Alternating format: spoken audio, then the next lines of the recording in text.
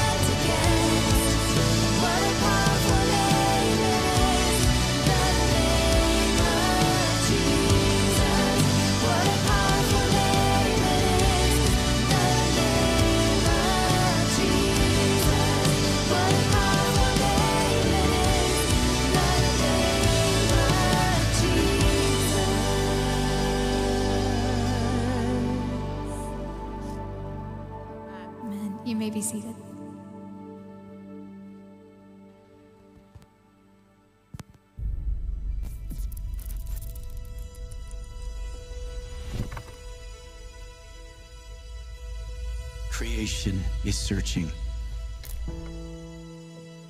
for meaning, for love, for truth, and for hope. Creation is looking for a Messiah.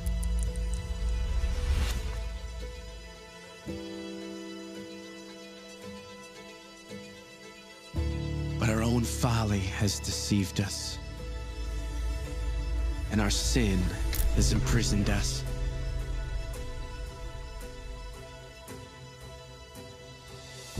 We are lost, without hope, and without a future. Surely, we are doomed to live the rest of our lives trapped behind bars of our own making.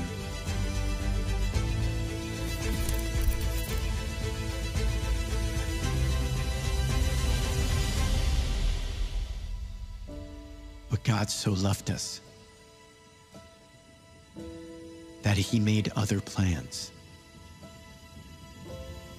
Plans for a new future.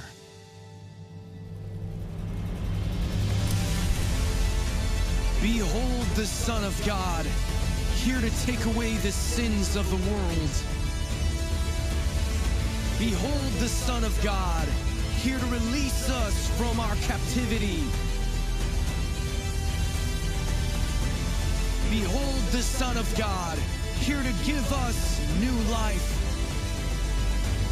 Behold the Son of God, here to be our Messiah.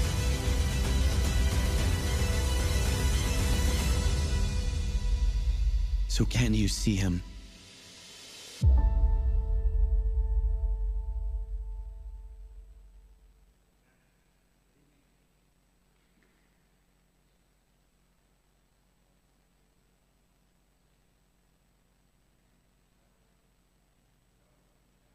No? There we go. Let's try that again. All right, good evening. It's good to be here tonight. Uh, if you haven't told someone that's good to see them tonight, can you tap the person on your right or left? Can you give them a smile and say it's good to see you? All right, if you don't have anyone close to you, that's a good sign to get close to someone tonight. Uh, it's good to share spaces together. Tonight we're starting uh, a three part uh, conversation on what Easter means. Um, and not the entire of Easter because Easter is such a depth topic on Jesus and why he died on the cross and, and how he rested and rose. We don't have probably time to unpack all of that. There's so much to unpack there, but at least we're looking at, at what Jesus means to us um, and how Jesus can make us alive. And tonight we're talking a little bit about how God embraces lost causes. How God embraces lost causes. I remember about, I was about six years old. Uh, I had a younger sister who was about three, three and a half at the time, and an older sister who was eight. And we had asked our parents for pets for our entire life, and our parents had always said the same answer. They had always said no. And so we had kept asking because that's what kids do. Kids are resilient, and they'll keep asking until mom and dad give them what they want, except for my kids. And so, um, we kept asking until finally we, we were moving houses, and the house we moved into not only uh, came with a roof, walls, rooms, bathrooms, kitchen, but it also came with a cat. And we were so excited that the house came with a cat. It was like the best deal that could ever happen to our family because we had always wanted a pet, and here was this cat. And so my sisters decided to name the cat Mishino. And it was this black, small cat that was most of the time outside the house, part of the time inside the house. And it was a nice cat. The cat from time to time would wander off into the neighborhood and they would come back on occasion. It would bring back a small snake, a bird, a mouse, you name it. You know, the, the, the cat realized that we were hungry and was bringing food to our house, which was, which was great for us, not for our parents. And, and so we kind of, you know, got close to the cat and, and built a relationship with that cat. And slowly, my parents started building some sort of affection towards that cat. And I remember it was probably a couple of months later, uh, the cat would go outside, be gone for a couple of hours, sometimes a day or two. And, and this time, a couple of hours went by, a couple of days went by, the cat wasn't coming back. And so my sisters and I got outside of the house and we started walking through the neighborhood. And um, as an adult, I think back, I'm like, that was kind of embarrassing of kind of yelling your pet's name out, but that's what we were doing as kids. We were just screaming out the cat's name, hoping that the cat would run to us. But we didn't knew little about cats because cats don't do that. Um, dogs do that, cats still do that. Uh, but we still didn't care. We were trying to find our lost cat. And so we, we looked for hours. The sun came down. We went to home. We were sad, uh, kind of cried ourselves to sleep, woke up the next day. As soon as we came back from school, we were outside in the neighborhood again trying to find our cat. And we got bold enough that we started knocking on neighbors' doors, hoping that someone found or saw our cat. Now, two, three days go by, you know, I checked out. You know, I tell my sisters, you know, this is a fantastic cause. I encourage you to keep doing it, but I'm out, right? The cat wasn't even that close to me. It scratched me a couple of times. It wasn't even my cat. So go ahead and knock yourself out. My older sister kept up with my younger sister for one more day, but then my younger sister was on her own. And so my older sister and I looked at her and said, Valeria, this is, this is a lost cause. Cat's not coming back. He obviously knows where we live. He doesn't want to come back. Either someone found them, took them in, or someone found them and did some other stuff to the cat, but the cat's not coming back home. And my sister looked at us and, and just started crying because the cat was not lost for her. We just hadn't found it yet. And so for us, it was just, a, a, a, you know, uh, one more story in your childhood, one more anecdote that you share when you're older. But for her, it meant everything. Like she didn't get over, I don't know if she's gotten over till today, the fact that that cat didn't come back home. And I look at those situations nowadays a little bit differently, right? There's things in our lives that we call lost causes. We all have uh, some sort of lost cause in our life where we had something that we held dearly, whether it was a, a job, a dream, a house, a car, a pet, something that was close to us. But at some point, we lost it. At some point, it, it, we had to let go. At some point, it drifted away. At some point, we had no control. And, and that thing that we love so much is lost. And, and, when it applies to human de- beings, it's a little bit differently because there's some human beings that we kind of title as lost causes, right? I don't need to explain to you too much about what that means because we have people in our families or in our circles or friends or in our workspace. We have people in our communities that we kind of title lost causes. When we try to help someone that's in the same situation over and over again, we might not say it out loud, but there's something inside of us that almost feels like it's a lost cause question is, is what do we do when we're dealing with, with lost causes, whether it's a personal failure, whether we didn't meet the standard we had for ourselves or the standard that someone had for us, or the standard that our boss, had for us, or the standard that our spouse had for us. Like, what do we do? Where do we go when we have those personal failures and we feel like that lost cause? Or what do we do in, in, in, when relationships break, whether it's a marriage or whether it's a relationship with a sibling or with a son or with a parent or with an uncle or aunt? What do we do when those relationships break? When we've tried over and over to patch things up, when we've gone the extra mile, when we've listened all that we could listen, when we've, you know, asked for forgiveness and it still seems like we're going in the same cycle, what do we do with those lost causes in relationships? Maybe your lost cause is, is with an addiction, with something that you set out early this year to say, This year I'm giving that up. This year I'm letting that go. This year I'm getting in shape. This year I'm eating better. This year I'm spending less time on my phone. Like, what do we do when we find ourselves back in the same cycles? I don't know about you, but many times for me, I look in the mirror and I'm like, I'm a lost cause in that area. Like, there's no hope for me to change or grow or get better or improve. There's no hope for me in terms of how I can overcome this situation or this challenge or this thing that's close to my heart.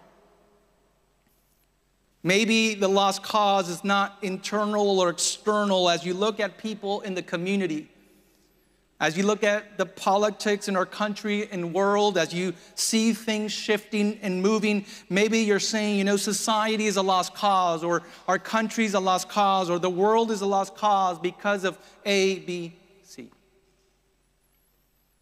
And I think it kind of rebounds back to our own mental health, where we are triggered by the past, present, and future, by smells and situations, by traffic, by, by music, by all sorts of scenarios.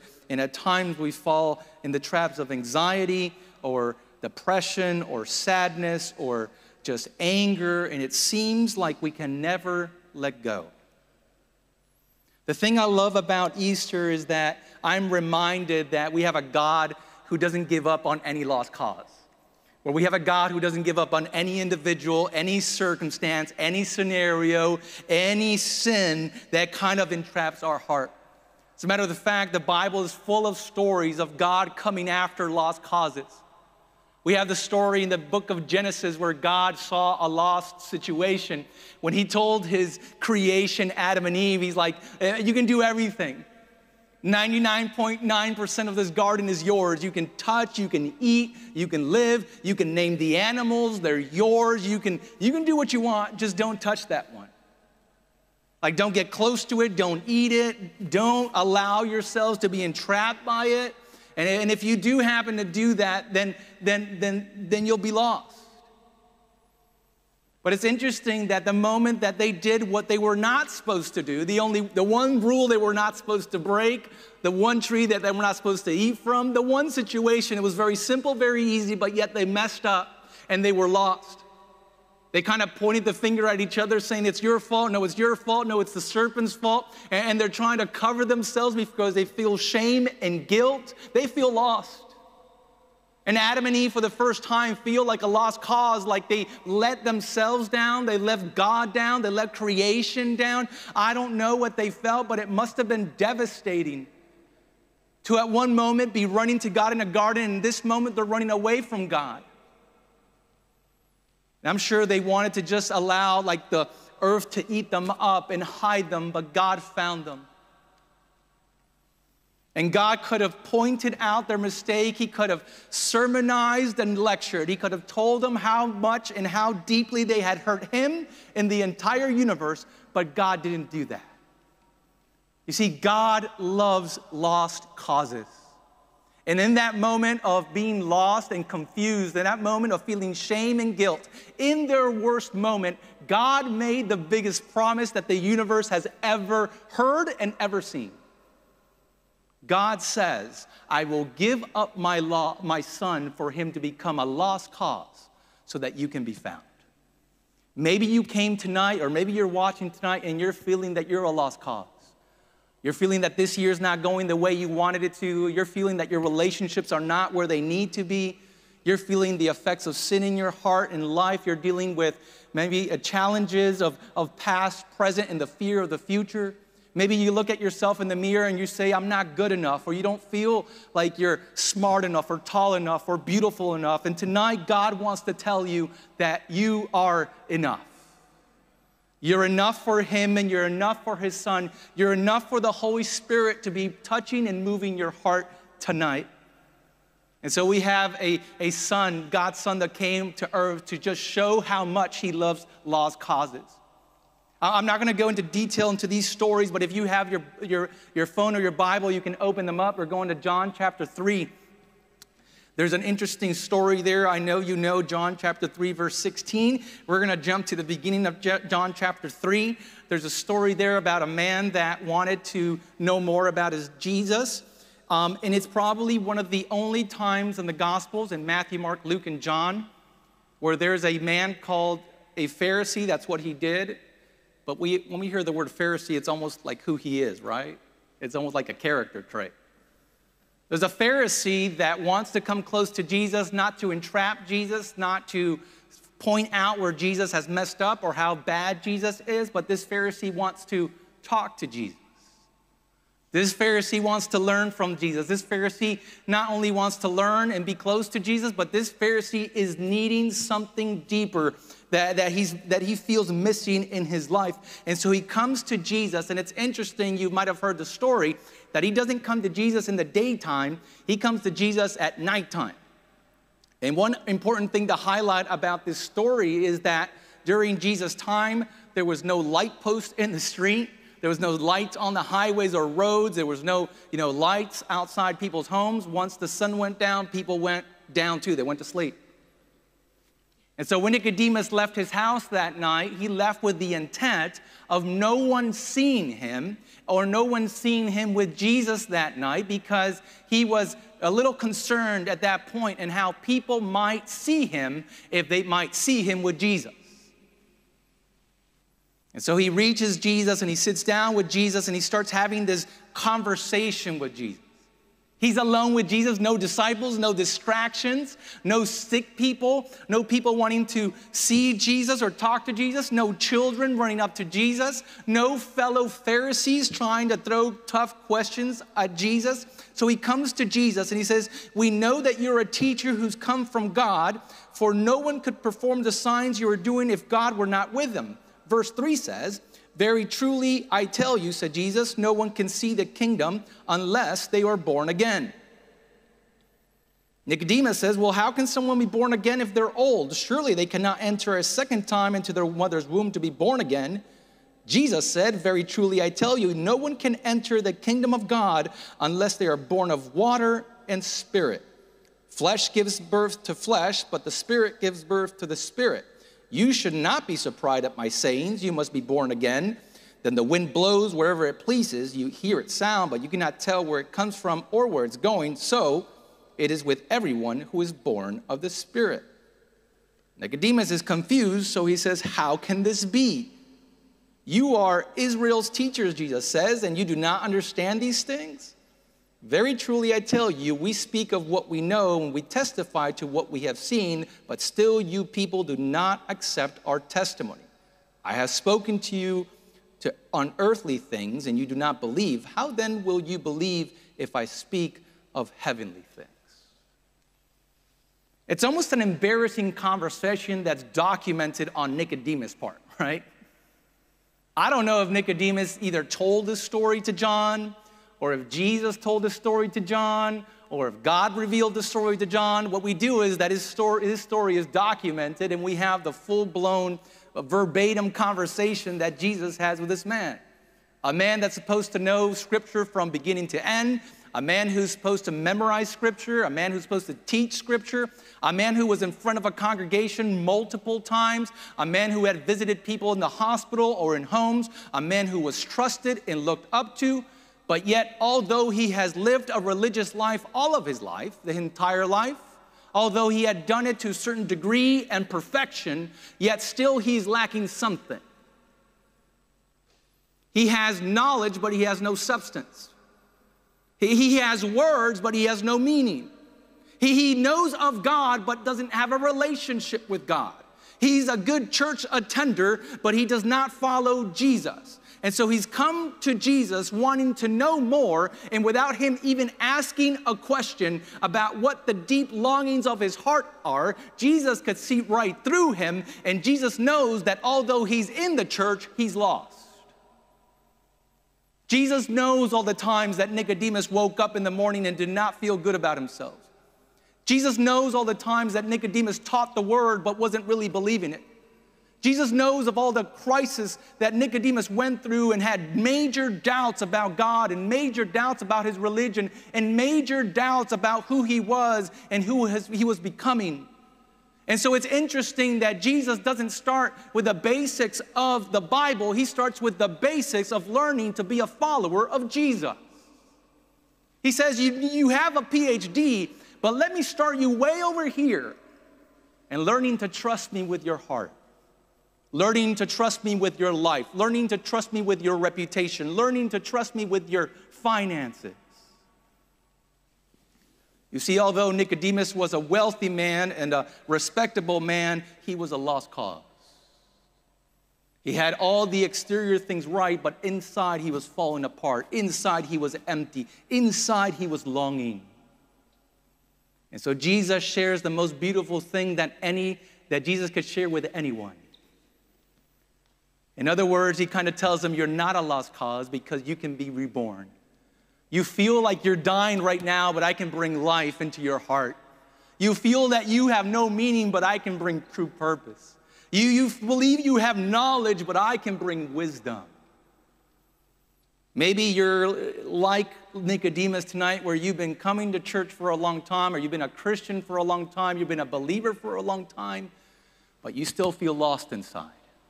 You've been going through all the right actions, you've been a part of a church or going to a church, serving at a church, but you still feel something missing inside. It's a good opportunity tonight to pay attention to Jesus' words, where he says, uh, verse 14, just as Moses lifted up a snake in the wilderness, so the Son of Man will be lifted up, that everyone who believes may have eternal life. Everyone. Nicodemus, this message is, is for you. You're a lost cause, but it's not just for you. It's for the rest of the Pharisees, the rest of the scribes, everyone that works in the temple. Nicodemus, this message is for your family. This message is for that cousin that keeps messing up.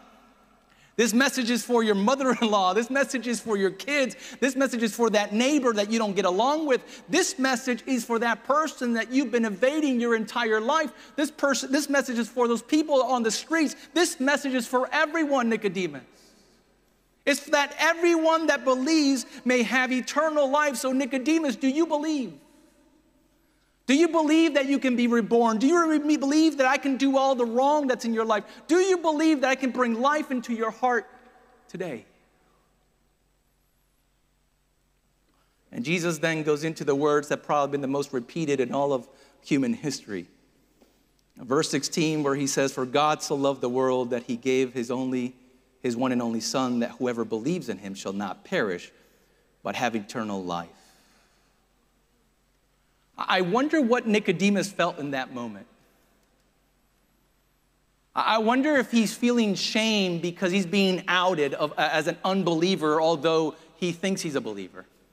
I'm wondering if, if he feels so small next to Jesus, who's breaking down scripture in such a powerful way, in a way he's never heard it his entire life, although he's taught it hundreds of times.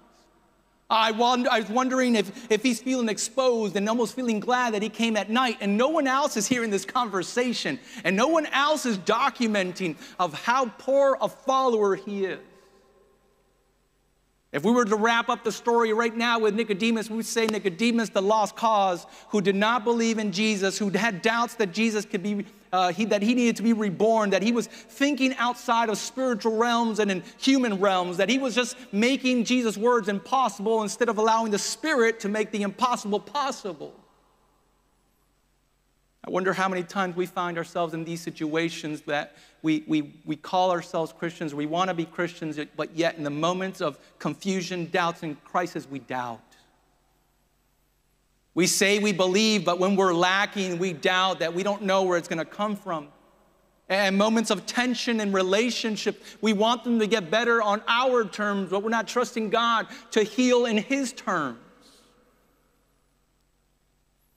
So many times we get mad at God, and many times we get frustrated with God. Many times we, you know, shake our fist at God and say, Where are you? Why weren't you there when I needed you? Why weren't you there when I was going through the crisis and times of need? Why weren't you there when people were suffering? Why weren't you there when there was wars and confusions and conflict? It's a pivotal moment in Nicodemus's life because he has a choice to make. And any time that we are sitting face to face with Jesus, it's a pivotal point in our lives. Because when Jesus is in front of you and Jesus is confronting you and Jesus is sharing his words with you, there's only two outcomes. We either say yes and we choose to believe, we choose to surrender and follow him, or we reject the invitation and walk away. I believe for the first time, Nicodemus is having to make this type of decision. He's come to Jesus and Jesus has laid it out, and now he has to make a choice. Do I want to continue in being a lost cause? Do I want to throw pity parties for myself and say how bad life and others have treated me? Or do I want to embrace this fountain of life, hope, and forgiveness right now? I believe every day we have that opportunity. Every day we have that invitation. We're not lost causes because God is constantly trying to find, to save, to redeem, to bring close to Him. Verse 17 says, For God did not send His Son into the world to condemn the world, but to save the world through Him. What if God was trying to save you tonight? What if God was trying to save you right now? What if God was trying to save you from the circumstance, from the scenario? What if God was trying to save you from the relationship? What if God was trying to save you from yourself? What if tonight all you needed to step into that realm of trusting God and, and having God create that new life, what if it, all it took was just to believe? What if all it took is say, Jesus, I want to believe, so help my unbelief? What if Jesus was waiting on our response to his invitation? You don't need to continue to feel like a lost cause or talk like a lost cause or think like a lost cause. Today, you can invite Jesus into your heart and be found. There's a second story that's kind of in contrast to this story, is found in uh, John chapter 8. If you have your Bible, you can quickly turn to it. It's a story about one day Jesus teaching in a big crowd. He has his disciples close by and a larger crowd hanging out. Jesus is having the time of his life. He loved being with people. And although Jesus was nothing like the people that were close to him, Jesus loved them and they loved Jesus back.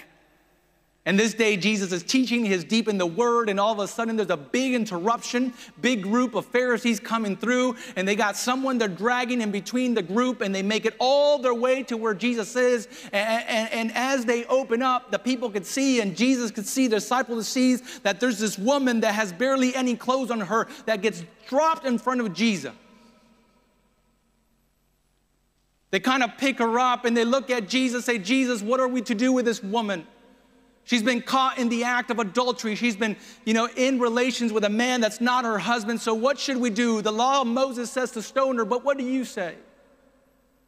In other words, they found someone that they had already had title as a lost cause. Most likely, this was not the first time that this lady finds herself in this situation. She was well known to kind of live in this world and give her body away, and so they knew who she was. The church had the responsibility to love her, redeem her, and bring her back to God, but all the church had done is given her a title. She's a lost cause. And I don't know, and I hope that Nicodemus wasn't part of that group of disciples, of Pharisees that walked up with this woman and threw her in front of Jesus, but it was his crowd, it was his group that did this. And so Jesus kind of looks at the woman, and Jesus looks at the Pharisees, and he, Jesus looks at his disciples. And Jesus can see something that no one else could see. While everyone in that crowd that day could see the woman and could see that she barely had clothes on herself, I imagine that people in the crowd would say, what, what, Why is this woman here? Why have they brought her here? Oh, oh, why this woman again doing this thing? We've told her hundreds of times not to do that. We've told her to repent. We've told her what to do. We've given her Bibles. We've given her material to get better and to get help. Why is she ruining our day? This was our moment with Jesus. I can imagine some other people in the crowd saying some names or, or saying the despicable things about this woman and maybe not saying them out loud, but thinking them in their hearts. And I believe everyone in that crowd is tearing this woman apart. And Jesus could see that. And I don't think that Jesus is only hurt because the woman is on the floor, half clothed and caught in the act. But I think Jesus is hurting because he can see this lost cause that's obvious on the floor, but he can see all the lost causes in that room, in that space that day. She was the most obvious one, but everyone was lost. Everyone was being a hypocrite. Everyone had hidden sins. Everyone had hidden agendas. No one had a pure heart. And while everyone that day except the woman felt better about themselves because they were not in the act of adultery and they hadn't committed that sin, they hadn't broke the Ten Commandments, they hadn't sinned against God, they hadn't brought shame, shame about themselves and everyone else, they felt a little bit better. They had a little bit higher ground, a little bit moral ground, more ethics. They were a little bit cleaner. But I believe everyone inside was just as dirty as her. She might have been the only honest one in that space that day, acknowledging that she was a sinner and needed of God's grace. And I don't know how much she knows about Jesus or how much she knows about who Jesus is. I don't know if she knows that Jesus came to this world to save lost causes like her. I don't know if she knows that she has the best person in her corner that day. that she has the undisputed uh, best boxer of all time kind of fight for her. She, I don't know if she knows all that. Because the moment that Jesus comes close to her, she doesn't even have the courage to look up to him. She's flooded with guilt and shame, and she can't even bring her eyes off the floor because she knows what she's done. She knows who she is. And in that moment, she's like, I don't deserve anything. I'm a lost cause. I don't deserve to be here. I deserve to be killed. Maybe she's waiting for that first stone to hit her on the head and knock her unconscious. But then Jesus does something that's hard to describe, right? He doesn't say a word. He didn't say, he didn't do much. Kind of there where he is, he just starts doodling on the sand? And all we know is the effects of what he writes. We don't know what he wrote, we just know what happened. That as some of those men that had brought this woman start looking at what Jesus is writing, they see some stuff on the sand that makes them feel now like a lost cause. They, they start feeling some shame because they realize that, that they also have some things in their hearts that need to be changed. They all have some, some addictions that they need to let go of. They also have some issues to be dealt with. And it says that one by one, they start dropping those stones and they start walking away. And soon, everyone that's accused her, everyone that, that's torn her down, everyone that's ruined her reputation, everyone that's called her a lost cause, not one is there, not one is standing. And so Jesus looks at her and he begins this process of redeeming her and he says, Where are those where are those crazy men that were accusing you? We're the, we're, we're the ones that wanted to kill you. And maybe that's the point where she finally lifts up her eyes and she doesn't see anyone. The people that she feared are gone. The people that had caused her to feel anxiety and fear and, and this tremendous desire to, to save her life somehow are no longer there. And in that moment, she begins to feel a little bit of peace inside her heart, a little bit of relief. And in that moment, she doesn't feel that lost. And being in proximity with Jesus, she's like, the way this man looks at me, it seems like he cares. It seems like he's different. I feel he can see everything inside of me. He knows all the bad things I've done, yet he's not angry. He's not saying bad things. He's not holding a stone in his hand. Jesus slowly picks her up and he tells her, Go and sin no more. I sometimes imagine, you know, how everyone went home that day. this lady that was thrown on the ground didn't think she was going to make it home. The Pharisees who had left home thinking that they were going to finally trap Jesus and kill a human being in the process. I'm sure they didn't sleep last night, that night, because there was things in their heart that were not dealt with, and their pride was eating them up from the inside out. No peace. Maybe anger, and maybe more plans, more desires, maybe more conversations about how to kill this man named Jesus. The crowd that day probably was astonished because no one had ever done this before. I imagine people texting and posting. You won't believe what happened. Uh, there, was a, there was supposed to be a stoning, but, but Jesus started writing some stuff, and, and the stoners ran away.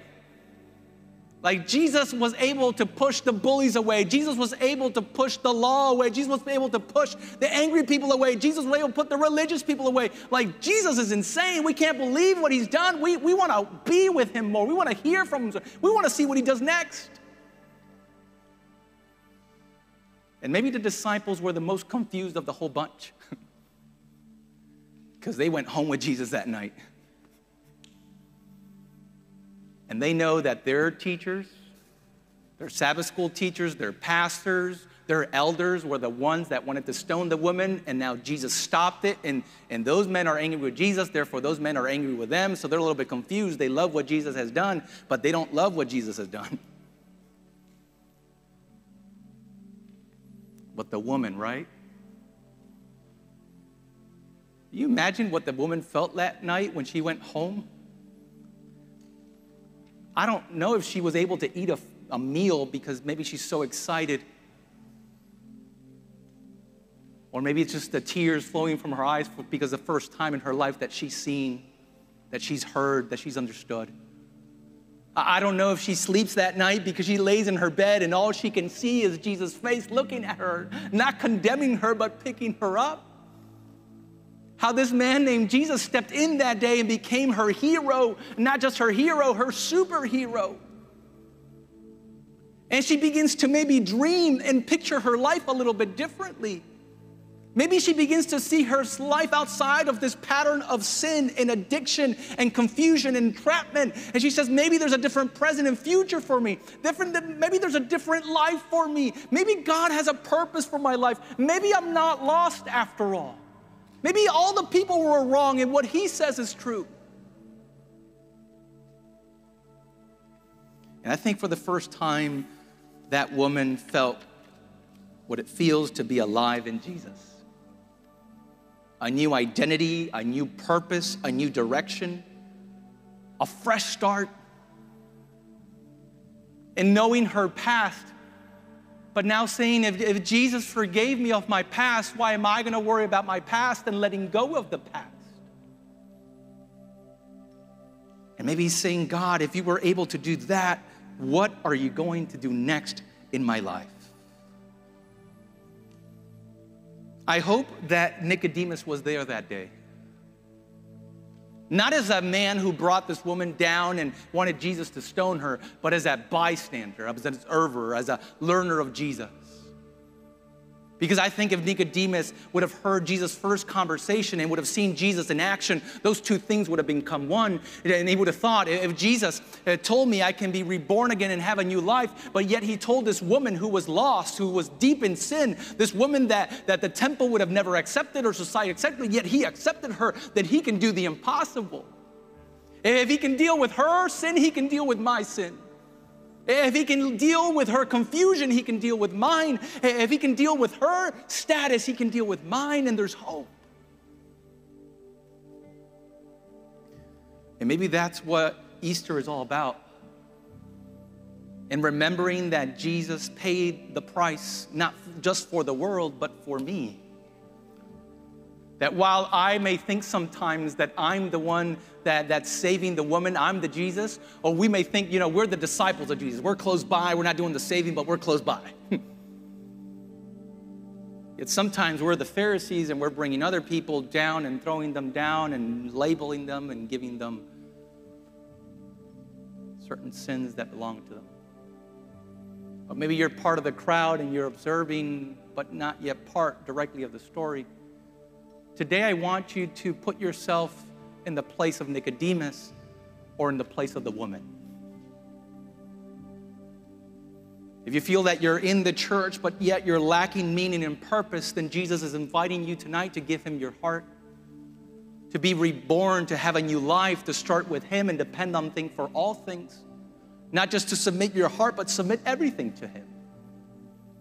Maybe tonight you're siding more with a woman and saying, I'm not where I'm supposed to be.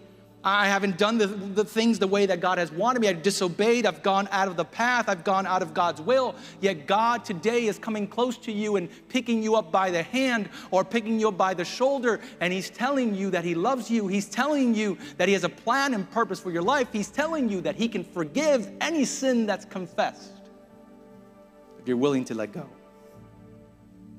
So maybe tonight's an opportunity to receive that hope that only comes in allowing Jesus to give us faith in Him. Maybe it's an opportunity to allow Jesus to redo our identity. And wherever the devil or ourselves or the world has titled us as lost causes, we can look at them and say, We're not lost, we're found. We're not alone because Jesus is with us. We, we have not failed because Jesus never fails. And although at times we may not be faithful, He never ever abandons you. Tonight, you have an opportunity to respond to the message that God has for you tonight. You have a card, uh, maybe on your seat or the seat next to you, the, free, the seat in front of you. And I just want to give you a moment to look at that card and fill it out tonight. Maybe tonight you just need to recommit your life to Jesus and you can check that box. Maybe you're needing tonight for one of the elders or myself to give you a phone call or a visit, to have a conversation. Maybe you're here tonight and you haven't been baptized and you need to give your life to Jesus and you can check that box. Or maybe there's something else that you just need prayer for, you need help for, that you just need someone else to know about. So I'll give you a minute to fill that card. On our way out tonight, there'll be a table in the lobby where you can drop that card off. I'm going to make sure to read those cards tonight and pray over those cards and contact you tomorrow. But I just want to give you a moment to make a decision. Because just like Nicodemus made a decision and this woman made a decision, we have to make a decision. Are we going to allow the world, the devil, ourselves to treat us like a lost cause, to think of us like a lost cause, to type like a lost cause, live like a lost cause? Or will we, or will we allow Jesus tonight to find us, to pick us up, and to give us a fresh start? Let's pray. Dear Heavenly Father who art in heaven, we thank you so much that you're a God that loves lost causes. That when we are in our worst state, worst scenario, worst crisis, worst sin, you're right there next to us, willing to pick us up. We thank you, Father, that you not only pick us up, but you're willing to give us a new life. You're willing to give us a fresh start. You're willing to forgive us of our sins. You're willing to give us this clear purpose and direction for our lives. And you remind us that this message is not just for us, Father. You remind us that this message is for the entire world because you don't want to condemn the world as a lost world or lost causes, but you want to find the lost sheep, the lost coin. You want to come looking for the lost son. Father, today we want to be found. We want to be brought close to you and live in your presence. So help us today to surrender. Help us today to surrender that false identity. Help us today to surrender that sin. Help us today to surrender the situation, the scenario, the circumstance Help us today to surrender the relationship, the marriage, the family, the home. In Jesus' name we pray. Amen. We want to thank you so much for coming tonight. If you would like a prayer tonight, you can just uh, come find me up front. I would love to pray for you if, if that's what you need tonight or have a conversation. Um, if not, you can, you're welcome to hang around for a little bit. You're welcome to come back tomorrow night, same time, same place. Tomorrow night, um, we're going to have a special message, and also uh, we're going to be sharing time together doing communion and sharing of Jesus' body um, and what he laid down for us at the cross. So come prepared tomorrow night to be able to participate directly in communion, but also continue to hear God's word. May God bless you.